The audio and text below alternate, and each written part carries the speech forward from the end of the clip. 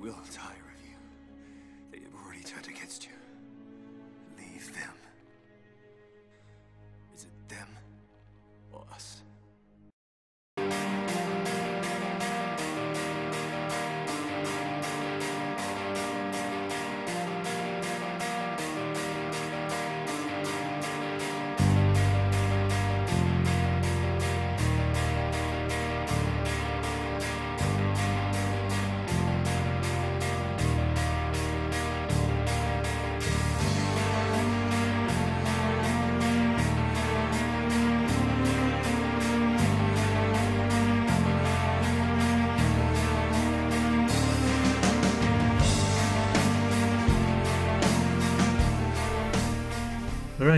This is an action figure review for Mezco Hellboy 2 Golden Army Hellboy figure with Samaritan and Big Baby Shotgun. And uh, I'm pretty sure I, I pronounced his gun wrong. Samaritan? Samaritan? I don't know that much about guns, especially his. But anyways, here's the figure. I no longer have this figure in the packaging, so what I'm going to do is show you a picture of what it looked like.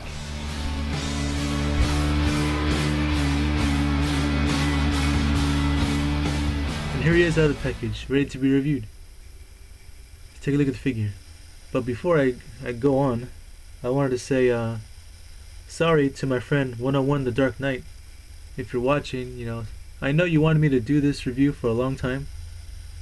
And one of the reasons why I put it off for so long was because, um, number one, I assumed there was a review for him already. And you know me, I only review those that, that don't have one. Number two, I had other reviews and other projects to do. So I couldn't really find the time for it. Number three, I moved, so he was kind of in a box somewhere in storage. But yeah, I decided I got him out of the storage and I decided to look up his reviews and there's not really that many. At least for this one. And the other ones that there are are like not not that great. Like not good lighting or not enough information or just on the packaging alone. So I decided to do it. I'll do you know the first real review on him. And hopefully by the time I upload this, somebody else hasn't done it already. So yeah, let's get started. Let's take a look at the figure.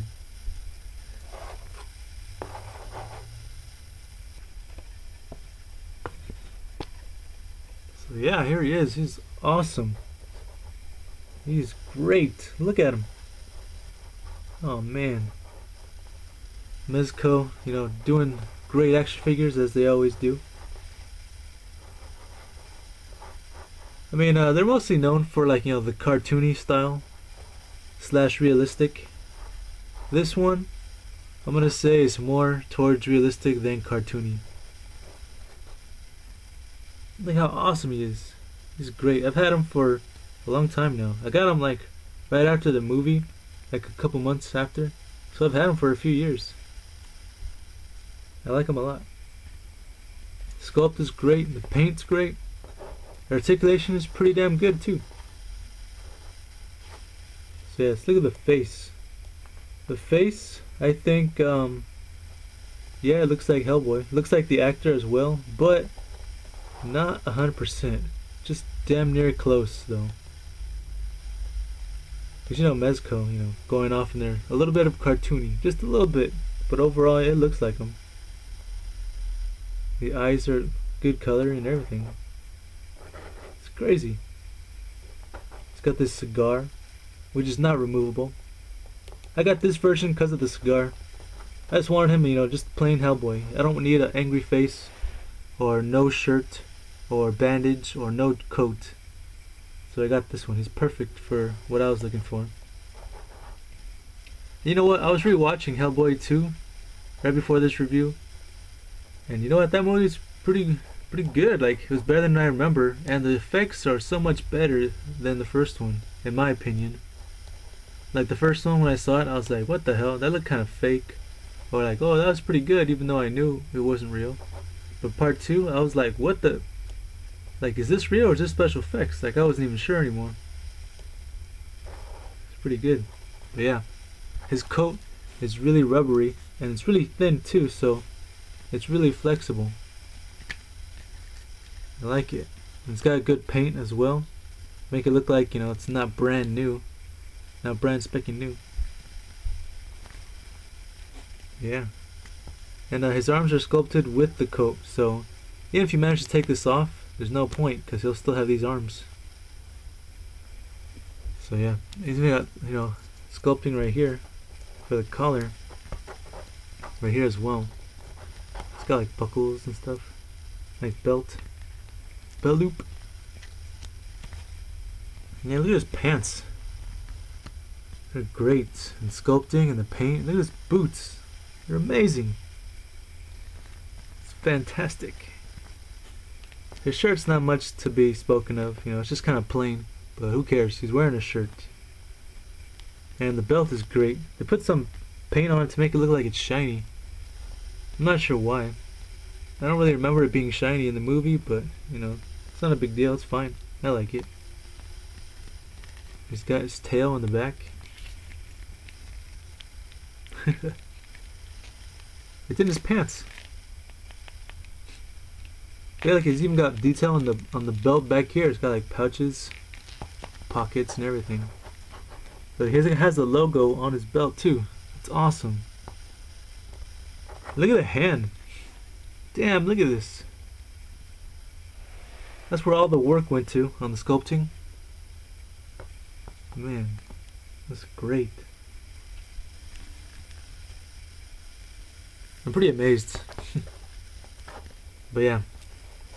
And uh, it comes with two accessories. He's holding one of them. And that's the big baby. It's really good. Let me take it out for you. And here's the gun, the big baby. Look how awesome that is. It's so huge for a gun.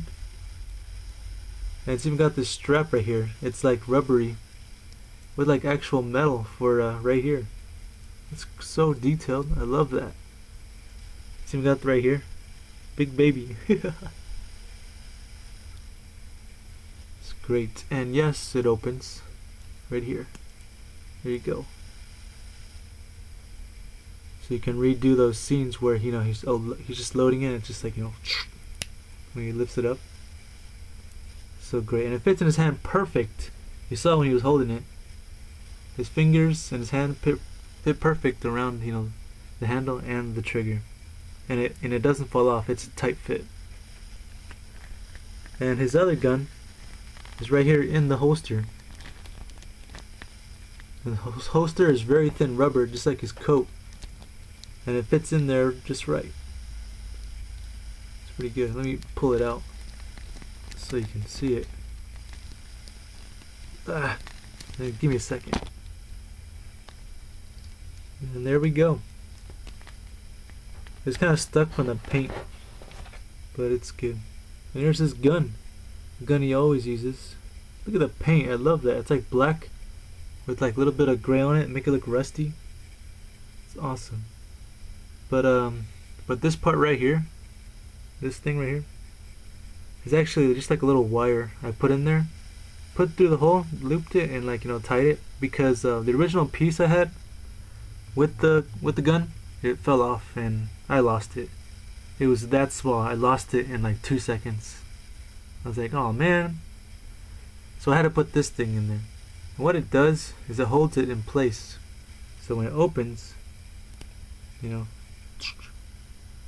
it stays there. Because without that piece, this just falls down right away. But yeah, look at that. That's great. I love this accessory.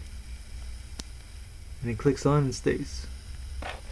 And yes, it fits in his hand as well. Let me do it for you real quick. And there it is. Hellboy using his gun. Wow. But yeah. So, articulation wise, all he can do he has a ball jointed head, so you get all kinds of movements in his head. Look at that. Go up, go down, side to side, and lean. Lean a little bit like that. Shoulders are pin and socket, and go all the way around. Side to side. Bicep swivel. One point at the elbow, but a pretty damn good one. And swivel at the wrists. Yeah, because they don't go up or down or anything. Okay. And he has like this upper torso joint right here. So he can go side to side, left and right, and up and down. It's pretty good. He does not have waist articulation. I've never been able to move it. To move it. If he does, I can't get it. It's probably stuck from like paint. But this works just fine. I don't need it. And at the bottom, the hips, he has ball jointed hips. So you can go up, you can go back, you can go side to side this much. Almost Van Damme status. And he has at the you know thigh cut at the top. It's great. One point in the knee, but it's pretty damn good. Look at that. Look how much much possibility you get with it. And hinge at the foot. Which is actually a little more than I thought it'd be. I thought it'd be like, you know, like this. But no, it's pretty good. And that's on both, you know, both legs. Pretty good. Um, this this arm, however, is different. He has the pin and socket joint for the shoulders, bicep swivel, but when he gets to right here, there's no elbow joint. One reason why I think would probably be because you know this arm is so big, it'd probably be too heavy for it. It might get loose. Who knows? Might break off.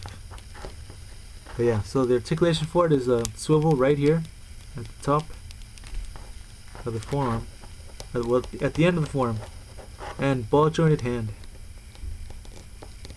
It's pretty good. Yeah, it's awesome. Oh yeah, also in the back too, his tail. His tail has a kind of low articulation. It's got a swivel right here, swivel right there, and another one right there. So that's pretty damn good. His size is about 7 inches. To give an idea, I'll bring in other figures to compare him. Here is, from NECA, the Freddy Krueger from Nightmare on Elm Street Part 2. And here he is next to Hellboy. He's a lot shorter than Hellboy. Which I think is pretty movie accurate. And here is also from NECA, Jason. From Friday, from uh, excuse me, it's from uh, Freddy versus Jason movie. Yeah. Look at that. Jason's actually bigger. Whoa. It's pretty cool. You know, how about it might be right under 7 inches? And if you want to see him next to other figures, I'll bring some in. Here is from Toy Biz, Urban Legends, Marvel Legends, Daredevil. Man, you can see the difference here. It's pretty ridiculous. Here is from Mattel, the DC Universe Batman Legacy line. First appearance, Batman. Here we go. Hellboy being bigger than most 6 inch figures, and I'm happy with that. Because I'm pretty sure that's the way it should be. Hellboy's a big guy. And here is, out of nowhere, a deer. I don't know, I just wanted to bring him in. Why not? He needs some, you know, some camera time. But yeah. So if you're looking for a Hellboy figure from the Mezco line, this is one of the best. This is my favorite. There's a few with different head head sculpts, you know, different expressions. No coat, with coat, shirt, no shirt, you know, bandage, whatever. I don't have any of the other characters though. This is my favorite Hellboy. The other characters, eh. They're they're alright, but I wouldn't get them. I just want a Hellboy. But yeah, sorry it took so long to review this. But yeah, I hope you guys enjoyed it. Alright, thanks for watching. Where you stand over here? Nope. Don't want to stand up. Come on, man, stand up. What the hell, man?